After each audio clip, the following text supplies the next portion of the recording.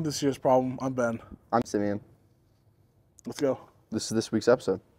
Um, all right. Um, I had questions for you from worker to boss about how you got to where you are today and Okay. like how you started your company, sort of to help me and anyone else figure out just some inspiration and idea on how they could do it.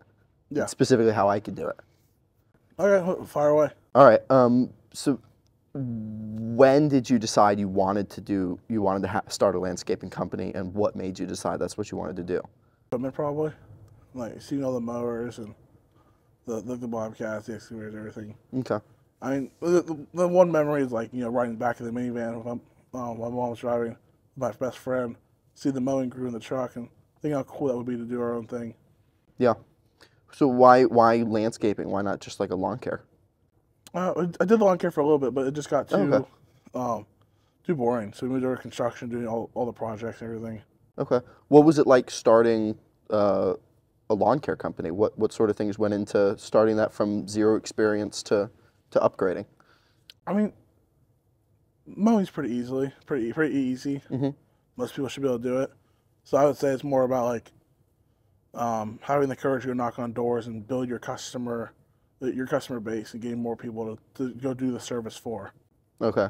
I know um, I, I got a couple jobs earlier power washing, and I know I have no experience doing that myself.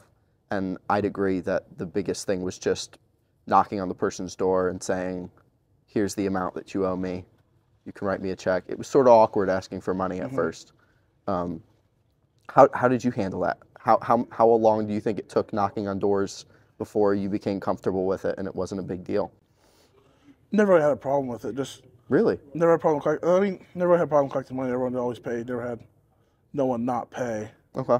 So just never really had that problem or the awkwardness that some people seem to have. if you were to describe your business, I mean, obviously it's a landscaping company, but if you were to give specific things that we do that you wanted to advertise over other things, like, I mean, I, I know from working with you that we go everywhere from weeding garden beds to building patios to fence posts to fences. I mean, we do it all. But if you were to give three or four or five things specifically that we specialize in, what do you think you would say those are? It's definitely gonna be uh, your patios and uh, retaining walls. A lot, Okay. a lot more of the stonework, mo- moving boulders, kind of setting them in place. A little more of that masonry stuff, Okay. where it's taking a little, a little more heavy, heavy equipment, a little more skill. Okay. Um, and masonry stuff, that's, I mean, that's harder. Like you said, mowing is easy. Like everyone can do that. Yeah, But masonry stuff, that's a skill. Did, it, it's pretty much a trade. right. Did you go anywhere or do any schooling to learn? To a trade school briefly, just for a year. Okay. Um, those for general landscaping, so like mowing, plants, a little bit of pavers, Okay. kind of everything, a little bit of equipment operation. That was pretty cool. Um, it wasn't really meant for me though. I kind of I stopped after about a year, uh, just to move on and keep doing my business full time. Do you think that was beneficial? Uh, for me, yes. Instead of wasting more time going to school, just go do my own thing. Okay. Do you think you would have learned faster maybe working for a landscaping company first, or do you think going to the trade school was the fastest route there in retrospect? I think on the trades, um, I wouldn't have learned more working for another company. I don't think, Okay. because you're just doing. I mean, I mean, I, already, I was already doing the work other landscape companies are doing, so there's no reason for me to go work for a company if I'm already doing what they're doing. Okay. That's just kind of my opinion, and I don't really like. I like doing my own thing, so I don't want to work for someone else. I think when you were starting your company and first building up clientele and hiring employees, what do you think the biggest challenge was overall? Uh, more finding work, finding work than um, finding people to do the work. Really? Yeah, Because I, I keep hearing, um, and you know, I follow Tigran on Instagram, and the big thing that he's always talking about is how difficult it was to find workers who would do the work for him and do it the way he wanted and were reliable. Um, that's interesting that you think it, it was harder to actually find the jobs to do. yeah, it's harder to find the work. I mean, there's always people that can do the work that may not be the best though. So, I mean, over a long time, yeah, it's hard to find good people, but short term, um, people are a dime a dozen. What were the first few big jobs that you did? Oh, just a few patios. Okay.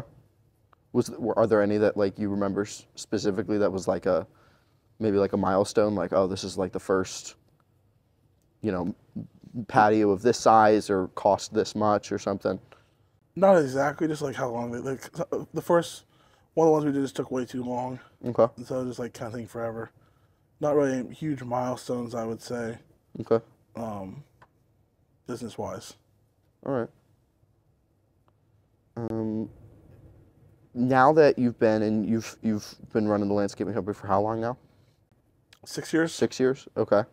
Um, now that you're like into it and the company's going, how do you sort of stay up to date and in the loop with like what all the other landscaping companies are doing? I mean, you really don't have to. There's no reason to.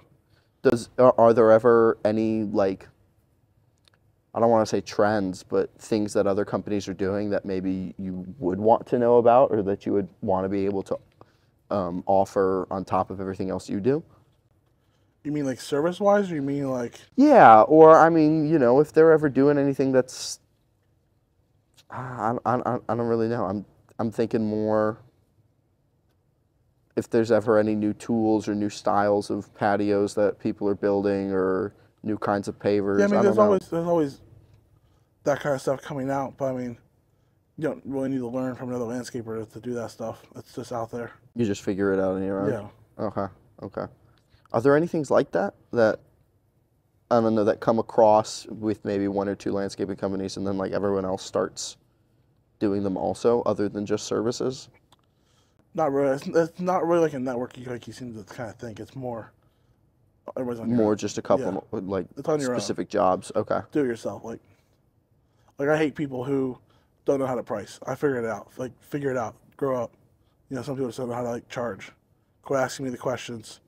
Figure it out because I figured it out as a 16 year old. You know, you're like 25. Figure it out. It's not that hard. So Some how people do feel like it's this hard thing. It's not. And I can't figure out your own price 'cause I don't know how fast you guys work or like what you guys have. So like figure out your own price. Quit asking people what you what you should be charging. It's not that hard. Figure it out. So you don't you don't think it's beneficial overall for like landscaping companies to check in with what other people are charging for the same job? I mean, you, you can, but I mean, no landscape company's gonna tell you what they're charging for a patio. I guess. I guess. I didn't think of that. I don't know. I, I, I look at it like I asked you what what you would charge for a power washing job before I went and started giving quotes on power washing jobs. Yeah, but I mean, like really, it's not that you you could- you could figure it out. I guess. Just see who says no to certain jobs and who says yes, and then figure out sort of what prices are acceptable. Well, you figure out how long it's gonna take you and how much money you want to make. Okay, fair enough. How long how long did it take you to really figure out how to price things? Not that long. I mean, just pretty much figure out how much something cost, how long it would take me to do it, and then just the price. How do you price out your labor? Like with power washing, there's not a whole lot of material. I mean, I've already paid paid back the power washer double. I mean, I made that back the first power washing job I did. Now it's just gas. So, I mean, how do you figure out how you want to price your own time? When you power wash one job, you should know how long it takes you to power wash a square concrete. Right. So you should know how, to, how long it takes you to power wash anything else from now on out. Right, but how, how do I decide? I mean, if it takes me 10 minutes to power wash a square concrete, what what gives you the the guideline of how much is 10 minutes worth? How much do you want to make? Okay, it's just it's just dependent on how much you're looking for. How much you want to make? How much is reasonable? How much someone willing to pay? Right. It's like it's not that hard. Like you know, you know, you know how long it takes you to do ten minutes of concrete work. You know, here's how much you charge. It's like when you other than just knocking on people's doors, what were your first marketing things that you did? It was really just knocking on doors. That was it. You didn't do any kind of advertising. Not till later on when I was um, 17, 18, I advertised on uh, HomeAdvisor for a little bit. Okay. And then from there, I kind of stopped advertising altogether. Um, just knocking on doors and people would give me referrals. Okay. And then uh, a year or two ago, I tried Facebook, which works pretty well. St- I still do that. And then now I, I advertise on Angi and Facebook. Okay. Um, do you think you got more work when you were knocking on doors than you do now advertising on Facebook and Angi? No, I've got more work now. Okay. Do you think maybe you're you think maybe even though you're getting more people to contract you and say yes to your jobs, do you think your name is getting out there a little less because you're interacting with fewer people? Do you think that costs you at all? How I'm interacting with more people. How to be interacting with fewer people. Thinking if if you go if you're in a neighborhood and you go from one door all the way down and you go around the neighborhood and you knock on 200 mm. doors, that's 200 people you've interacted with. They know of Buckingham Gardens. They know who Ben is. They know what kind of things they offer, Uh, all right, let's say you knock on 200. Let's say you knock on 200 doors. right? Let's say half the people are home. Okay, that's Okay. fair. Uh, let's say another chunk doesn't care, so they're not even gonna listen to you. They're gonna close the door. Right. And then another chunk says no, and then another chunk actually says yes. And that one chunk, the chunk that says yes is like one percent or less. So after 200 doors, 20 people might care, at most. Okay. That's like maximum. Otherwise, you, you get way better reach on Facebook. So um, even just having people know of your company, I mean, there aren't enough people when you knock on doors to really make that big of a dent. No, knowing of your company does not matter. It doesn't make a difference. Okay. No. You don't ever get people like customers that call and ask for a job because their friend knew of your company or something. That doesn't happen. I mean, some people will call because they their friend told them about us. But is that usually like a for- their friend is a former customer? Yeah. Okay, that makes sense. All right. Um, who who are our most common customers? Uh, I'd say people in the, between 40 and 60. Um, Mm-hmm. Usually have to be a homeowner, Okay. Um, at least. Do you do you get a lot of corporate jobs like companies or uh, do you ever have any like apartment complex or anything like that? A handful each year. Okay. And is that is that more? I I would assume that'd be more lawn care related than it would be like a big patio job or something. Is that right? Um, no, that'd be more cleanup or maintenance or re- removing trees or something. Okay. So Um, we, we don't do any lawn care. So, oh, at all? no. Oh, okay. No, if someone calls me to mow their grass once, I'm not going to mow it. Really? What made you stop doing that altogether? It's just frustrating and annoying to mow grass. Okay. It's a waste of time. It's Okay. a waste of time to spend two, three hours to get 60 bucks. Okay. So just the return on Yeah, there's no return. okay compared to building patios and doing tree Yeah, I mean- removal, right? We bring in a lot more money doing all that stuff. Yeah, that makes sense. That makes sense. Have do you ever get feedback from customers directly?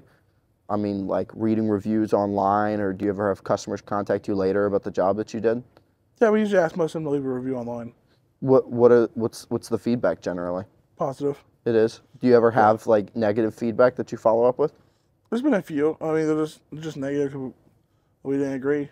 Were there, were there any jobs that you re, you can remember doing that they had a legitimate complaint and you actually maybe realized that you could have done a better job, or maybe you something broke or something uh, where there was an actual problem? Yeah, of course. I mean, it happens. Any that you can talk about? I'm I mean, there's nothing really serious. There's nothing really there. Like, Just it's like they, they wanted the pay rates to be a little different or something. okay. There's nothing really. It's nothing noteworthy. Does anything ever happen where what, what- like what do you do if a customer's not satisfied with their patio? Like No, well, they're the ones who chose everything, so it's up to them. oh, okay, so you just make sure that Yeah. they choose all the paver types before. Yeah, we're not choosing anything for them. They, they, they you ever have someone like want a refund or want you to redo it afterwards? no. No, no, like No. Karens. I mean, generally, when people are angry, it's because someone cut the internet cable. No, I, I really ruined someone's day. yeah, Um, I, I remember most recently that someone, one of the workers cut an internet cable, and uh, the lady had to leave her house to go do a meeting that she could have done from home. uh, And you know, that kind of like wasn't really ma- didn't really make her day easier. right. Ever thought of like getting a mascot for the company? Who would be our mascot? We don't have a we don't have an animal name. I don't know. I It's Buckingham Gardens. What do you do? Have a, a garden, a tomato? I I have no idea. No, it'd be, it'd be I, cool though having a mascot, don't you think? I'd never have a mascot. Why? It's cheesy. You think so? Yeah. I don't know. I feel like that's that's such a big thing. I mean, No, for the- I- sports, you go to a game, and I feel like it's it's just iconic. Yeah, because they've been around for hundred years. See, but does that make them less cheesy? No, they're still pretty cheesy. I don't know. I don't find it. I kind of like them. I don't like them. Huh. Interesting. How'd you come up with the logo? Um, went on Fiverr, told ten different people what I wanted, and chose the one we liked the most. Okay, fair enough. Fair enough. So there wasn't any like specific aspects of it that No, you had just chosen. told them like the name, what we do, and then come up with something. Came up with that one. It's been the, it's the best. So probably gonna keep it for quite a while. Yeah, I like it. I think it's pretty good. Yeah. I mean, I wouldn't really change it. Yeah, I don't think there's a point. Like Karens or someone freak out over something that happened. Yeah, there's been some. Okay, how do you Um, handle that generally? There's not much you can do. Just kind of fix the problem. Nod and smile, Yeah. sort of. Okay. Sometimes I'm not the fan of the customer, and I won't take the payment because I don't want to deal with them. Right. So maybe like on a, we may have done the job like just about three quarters of the way, and like I pretty much so there's one job I pretty much finished the job. Yeah. It was just redo a pave area, but she wanted me to redo these stones too. That wasn't included, Okay. and I didn't want to go back down and do it. But she kept calling and calling. I didn't take payment. I didn't even want the payment. So I, I eventually went down there and fixed these stones, and then just left. I didn't want to deal with her, or even talk to her. I didn't like her. Seen these like the TikToks of where someone doesn't pay, so they dump like mulch in their driveway or something. Yeah, So I mean, I would do that. wouldn't.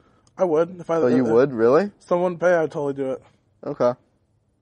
I wouldn't, even, I wouldn't even think twice about it. Just go.